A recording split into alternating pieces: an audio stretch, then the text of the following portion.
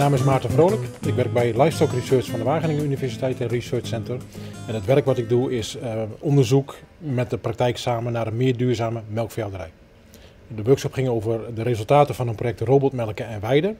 Samen met 500 melkveehouders. Dus het geeft al aan dat het samen met de praktijk is. En de relevantie voor het onderwijs is dat daar concepten uitgekomen zijn. Van als je nu bijvoorbeeld zoveel koeien hebt en zoveel hectare land en je wilt gaan weiden, wat past dan beter qua concept? Het zijn absoluut geen blauwdrukken, maar inspirerende bouwstenen. En die hebben we op een zo, duidelijk mogelijk manier proberen te duiden in de zin van en wanneer kun je de maximale melkproductie halen? Wanneer kun je de maximale grasproductie omzetten in melk? Hoeveel arbeid kost het? Enzovoort. En het tweede aspect is dat we met een deel van die melkveehouders, met hun adviseurs, allemaal tegelijkertijd aan tafel gezeten hebben in een adviesteamgesprek. En wat is de meerwaarde van zo'n team ten opzichte van individuele adviezen die allemaal op verschillende momenten plaatsvinden? En dat zijn in beknopte uh, flyers, uitreikingen zijn, zijn die gemaakt, zeg maar. En die zijn digitaal, maar ook in geprinte vorm beschikbaar voor het onderwijs.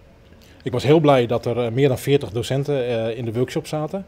Uh, dat geeft aan dat het onderwerp ook heel erg leeft. En um, dat is nog wat anders dan antwoord te geven op de vraag van en hoe komt het dan bij die leerlingen? Want dit is natuurlijk maar één aspect. Er zijn veel verschillende kanalen.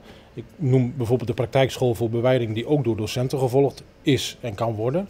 Die ook allerlei werkvormen aanbieden in de zin van hoe kun je de nieuwste kennis uit bijvoorbeeld dit onderzoek, maar ook uit andere projecten in gedidactiseerde vormen gebruiken in het onderwijs. Nou, een aantal uitgangspunten is relevant. Bewijdingsonderwijs, of dat nu met robot is of niet, doe je niet alleen in de klas, maar dat doe je ook in het gras. Um, dat doe je op mbo en, en hbo niveau, want daar zit ook die doorlopende leerlijn zit erin. Als wij zeggen dat een koe als jong dier al moet leren grazen, heeft het natuurlijk ook met onderwijs te maken dat je dat continu in je hele leerlijn eigenlijk aan bod wil laten komen. Um, uh, als het gaat over borgen in de zin van het beschikbaar hebben van de materialen en dat gedidactiseerd ja of nee, dan moet dat op een plek, zetten, op een plek beschikbaar zijn op een gemakkelijke manier als ik even naar mezelf kijk. Uh, ik denk dat Groen Kennisnet daar een belangrijke rol in kan vervullen. Uh, ik weet niet of dat de enige plek is en of dat de enige manier is. Uh, maar het moet wel op een zodanig mogelijke manier passen in die doorlopende leerlijn. En ik kan me niet aan de indruk onttrekken dat bijvoorbeeld het lectoraat van de lectorbewijding zeg maar, daar ook een rol in kan, kan spelen. Ik ben uh, Mulder. Ik werk als docent veehouderij uh, bij het Clusius College in Alkmaar. Uh, ik ben hier vandaag om, om kennis op te doen. de praktijkkennis om dat te vertalen naar het onderwijs. En concreet is de vraag, kan ik iets met deze kennis?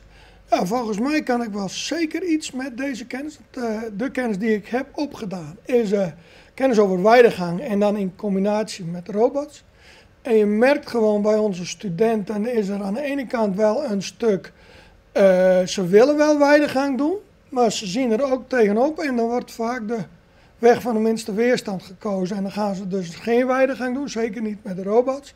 Dus ik denk dat er zeker nog een, een kennisgat uh, uh, ligt. Gewoon praktijkkennis. En ik denk dat wij dat als docenten zeker door kunnen en moeten geven. Uh, ik denk dat uh, Groen Kennisnet zeker uh, daar een borging in kan hebben. Het, het is heel belangrijk dat de, de kennis van Groen Kennisnet ook in onze leerlijnen passen. Dus ik ga echt uit van, van leerlijnen, van ja, wat moeten die, die, studenten kennen aan het eind van hun schoolperiode. En ik denk dat Groen Kennisnet daar zeker een rol in kan spelen om dat te borgen. Ja, ik ben uh, Teun Perenboom, ben uh, docent uh, veehouderij op uh, College in Alkmaar. En de vakken die ik geef, bodemkunde, bemesting, weidebouw. ik ben op de workshop geweest voor, voor, over weidegang met de, met de robot. de kennis die ik daarop gedaan heb, die, die kan ik zeker gebruiken. Want vooral ben ik op zoek naar, tips en, en eventueel nieuwe dingen die ik nog niet wist om, om die te vinden zeg maar, en daar wat mee te doen. als, als net kennis algemeen kan ontsluiten, dan ben ik daar meteen voorstander van. Want dan hoef ik dat zelf niet uh, te ontdekken. Nu was een beetje toch het gevoel dat je overal links en rechts wat probeert te verzamelen. Uh, maar dat, dat is best een klus. En als dat centraal toegankelijk is dan, uh, en goed overzichtelijk, dan helpt dat mij wel.